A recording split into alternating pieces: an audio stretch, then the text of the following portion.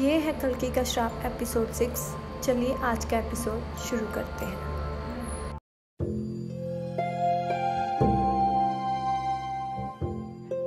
करीब दस मिनट के अंदर, वे सभी मुख्य हवेली में पहुँच गए। ठाकुर सूरज भान सिंह के गाँव की जीत हो गई थी। मगर जब से अधीरा शेरा के हाथों हारा था, तब से ही वो उससे बहुत गुस्सा थे। हालाँकि उन्होंने अपने गुस्से को वहाँ सबके सामने ज़ाहिर नहीं किया। सब अपने अपने कमरे की तरफ़ चले गए। रात के बारह बजने को थे। यही वजह थी कि अधीरा भी अब अपने कमरे की तरफ़ जाने लगा। अधीरा! जी जी बाबा। तुम शेरा से कैसे हार सकते हो?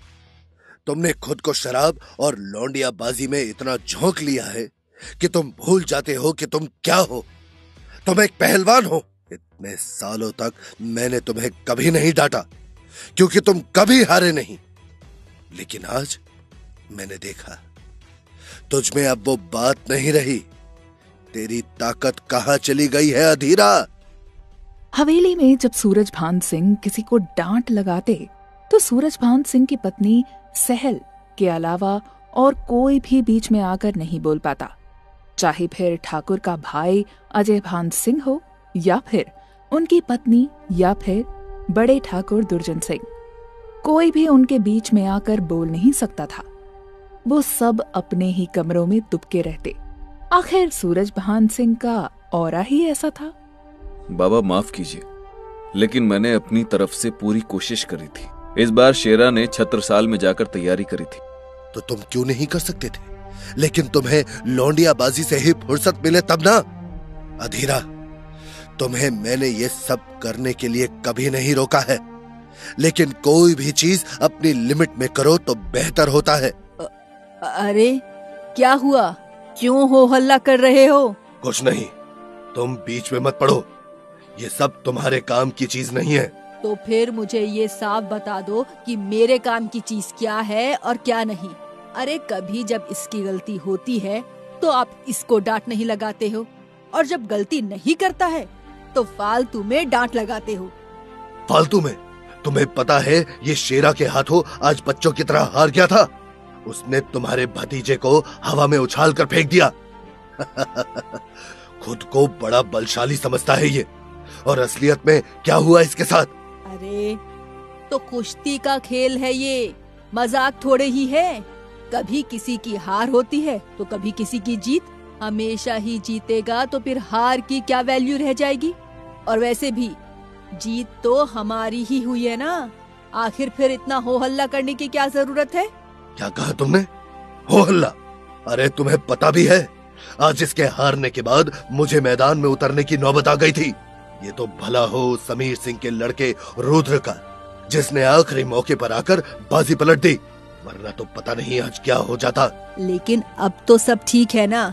आपको कुछ भी करने की ज़रूरत नहीं पड़ी है। अच्छा तो तेरे कहने का मतलब है इसको डांट भी ना लगाऊँ? हाँ क्योंकि आज ये एक ही बार हारा है। मत भूलिए कि इसने सहारनपुर के गाँव के पहलवानों को लगातार छह बार हराया है और आज जब हार गया है तो आपको गुस्सा आ रहा है?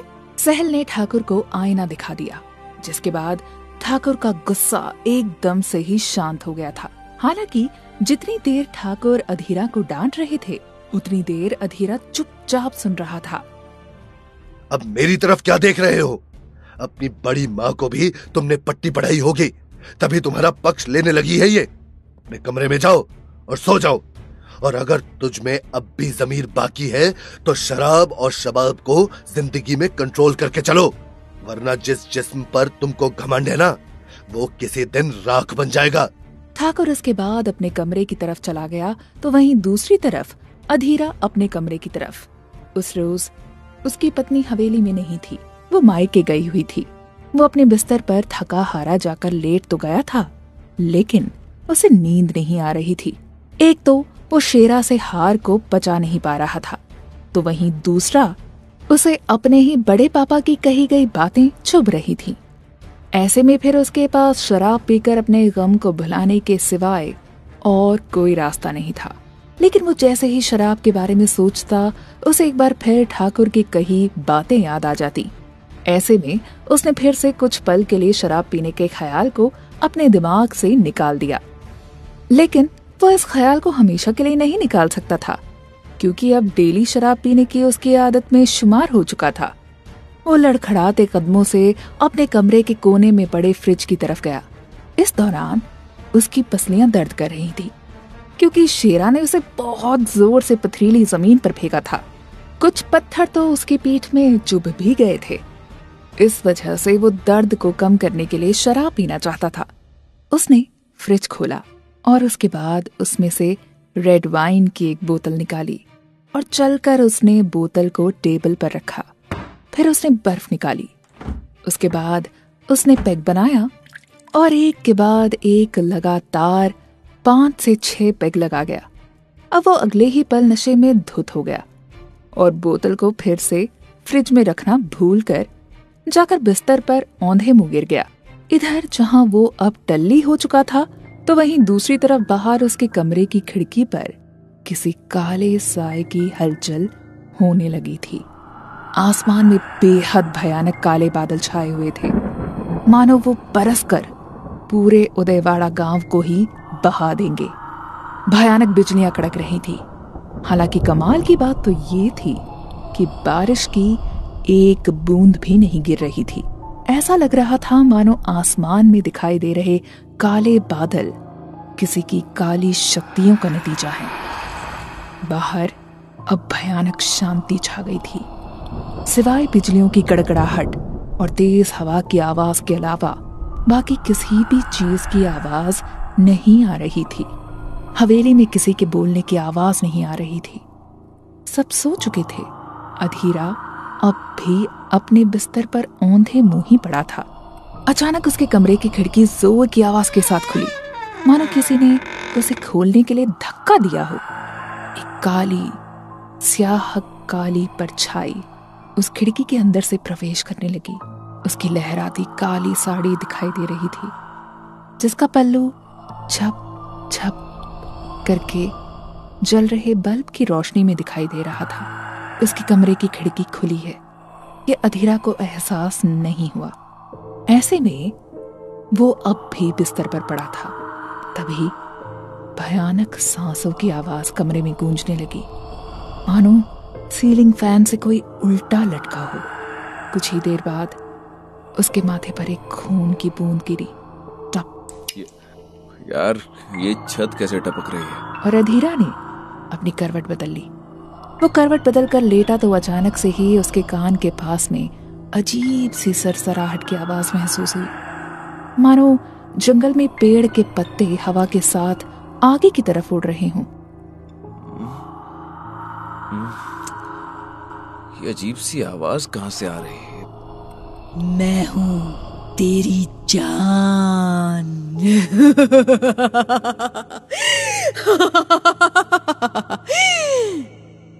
अचानक से भयानक हँसी उसे जैसे ही सुनाई दी वो ज़ोर से चीखा। हाँ, कौन है?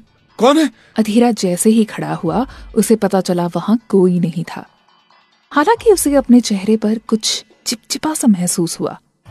उसने अपने हाथ से जैसे ही उस खून की बूंद को पहुँचा उसने देखा वो खून था। खून? वो शौक होकर खून की बूंद की तरफ़ देखता है। वो खून की बूंद गहरे लाल रंग की नहीं बल्कि गहरे लाल के साथ उसमें गाढ़ा कालापन था। ऐसा खून उसने पहले कभी नहीं देखा था। उस खून की बूंद में से चमेले की तेल की गंध भी आ रही थी। मुझे अजीब सी आवाज़ कहाँ से सुनाई दी थी? वो धीमे से बुदबुदाया ही था कि तभी सामने से उसके वॉशरूम में से आवाज़ सुनाई दी। मैं मैं बोली थी मेरी जान आओ ना। मैं तुम्हारा बेसब्री से इंतज़ार कर रही हूँ। आ, आ रहा हूँ। मैं आ रहा हूँ। वो नशे में धुत वॉशरूम की तरफ़ गया। वहाँ से शावर के चलने की आवाज़ सुनाई दे रही थी। मानो कोई लेडी नहा रही हो। लेकिन वो तब जाकर शौक हो गया जब उसे वॉशरूम में कोई नहीं मिला। तू तुम कहाँ हो? अभी अभी तो तुमने मुझे बुलाया था। अब कहाँ हो तुम? अधीरा ने पूछा लेकिन सामने से कोई आवाज़ नहीं आई। मुझे लगता है ये मेरा वहम है कोई। वो खुद से बोलकर वो मुड़ने ही वाला था कि तभी अचानक से उसके कंधे पर किसी ने हाथ रखा। उसका हाथ बड़ा सख्त नज़र आ रहा था। वो ठुड्डी को मोड़कर अपने कंधे की तरफ़ देखता है तो उसे एक काला जला हुआ सा भयानक हाथ नज़र आया। डर के मारे वो थर थर कांपने लगा। वो इतना कहकर जैसे ही मुड़ा, उसे वहाँ कोई नज़र नहीं आया। लेकिन बाथरूम के मिरर पर खून से लिखी वार्निंग, उसने जैसे ही पढ़ी, उसका सारा नशा छू मंत्र हो गया। तुम्हें अपनी ताकत और मर्दानगी पर घमंड है ना, अधीरा? कुछ ही दिनों में मैं आ रही हूँ तेरे घमंड को चकना चूर करने के लिए। आज बस मैंने तुम्हें चेताया है, लेकिन तेरी मौत अब निश्चित है कल की। कल की। हाँ।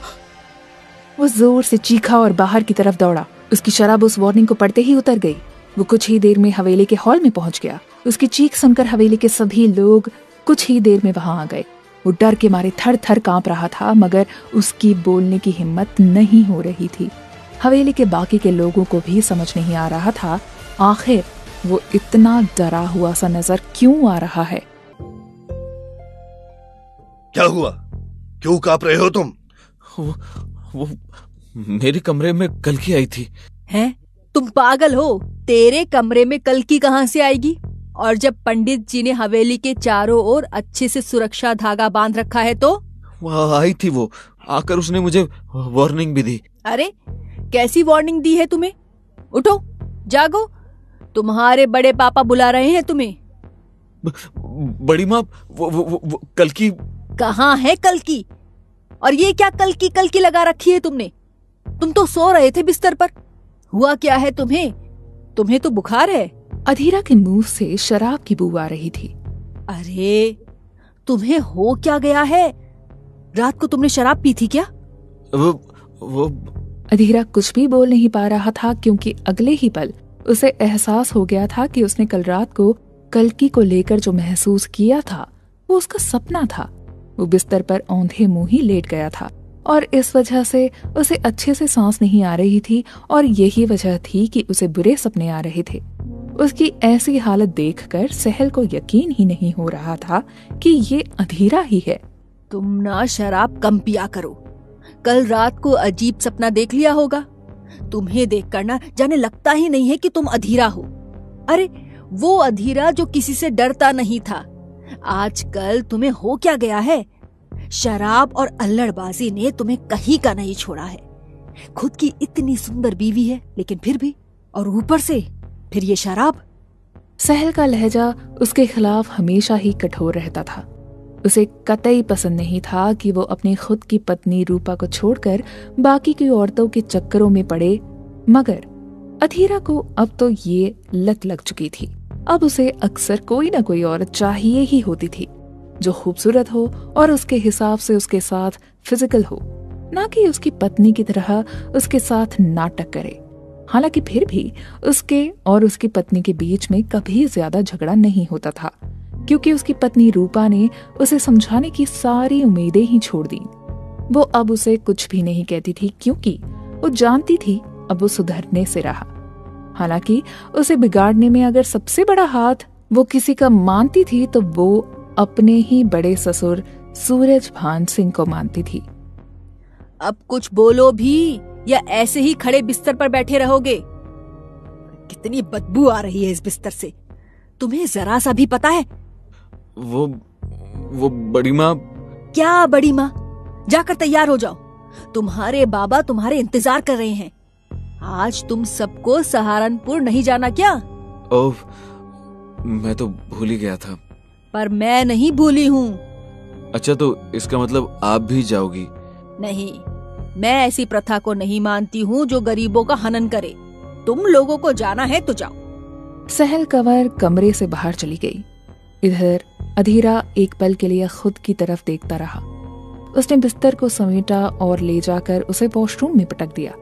उसके बाद नहाने चला गया क्योंकि आज वो रुद्र और बाकी सबके साथ जाकर सहारनपुर के बाज़ार से खूब खरीदारी करने वाले थे और बदले में उन्हें पैसे भी नहीं देने थे। इसके अलावा उन्हें सहारनपुर में कई गलियों में घूमने का भी मौका मिलने वाला था। बाज़ार में सामान बेचने वाली लड़कियाँ भी थीं। जमींदार करतार सिंह के घर पर कुछ चुनिंदा लोगों का खाना भी बनने वाला था। मतलब सब कुछ मिलने वाला था वहाँ। ऐसे में फिर वो पीछे क्यों रहता? वो आज क्या करेगा, वो यही सोचता हुआ बाथरूम में नहाने चला गया। इस दौरान उसने जैसे ही अपने कपड़े खोले तो वो शॉक्ड रह गया। उसके दाहिने कंधे पर लाल निशान उभरा हुआ था। वो निशान किसी के हाथ के जैसा था। मानो किसी ने उसके कंधे पर बेहद ज़ोर से हाथ मारा हो और फिर उसकी छाप उस कंधे पर छप गई हो। उसका वो निशान अब बैंगनी रंग का पड़ चुका था। हालाँकि वो निशान उसकी दर्द नहीं कर रहा था, मगर उस निशान को देखने के बाद वो अब बुरी तरह से कांपने लगा था। उसकी हालत बहुत खराब हो गई थी। ओ मतलब उस वक्त कलकी ने जो उसे चेतावनी दी थी, वो असलियत में थी ना कि सपने में? बस वो उसे बता देना चाहती थी कि उसे कोई रोक नहीं सकता। मतलब कलकी ने पहले से ही यह घटना उसकी किस्मत में लिख दी थी।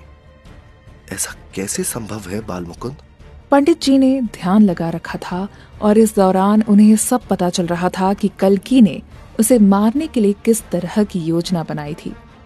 वो ये सब इसलिए जानना चाहते थे ताकि वो हवेली के बाकी के लोगों की जान बचा सके। गुरुदेव मुझे लगता है कलकी को रोकना केवल हम सबके लिए आसान नहीं है। हमें आपके गुरुदेव की मदद लेनी ही होगी। हाँ लेकिन हम ऐसे तो हाथ पर हाथ धरकर बैठे नहीं रह सकते ना। पता नहीं क्यों मुझे लगता है कि कलकी का ज़रूर कोई ना कोई संबंध उस दंगल और उस अखाड़े के साथ भी है। तभी तो वो अक्सर बसंत पंचमी की रात को दंगल हो जाने के बाद वहाँ जाती हैं। आखिर इसकी वजह क्या है? ये तो आपको देखना पड़ेगा। हम्म तुम मेरी फिर से मदद करना। मैं एक बार फिर ध्यान लगाना चाहता हूँ। जी गुरुदेव। पंडित जी ने यज्ञ में आहुति दी और फिर से ध्यान मग्न हो गए। आखिर क्या है कनेक्शन कलकी का दंगल से और उस अखाड़े के साथ, जो वो अक्सर वहाँ जाती है? उसने अधीरा को क्यों मारा? आखिर क्यों कलकी हवेली के लोगों को मारना चाहती है? जानिए कहानी के अगले भाग में। आज के एपिसोड में बस इतना ही। आगे का एपिसोड देखने के लिए वीडियो को लाइक करें और चैनल को सब्सक्राइब करें।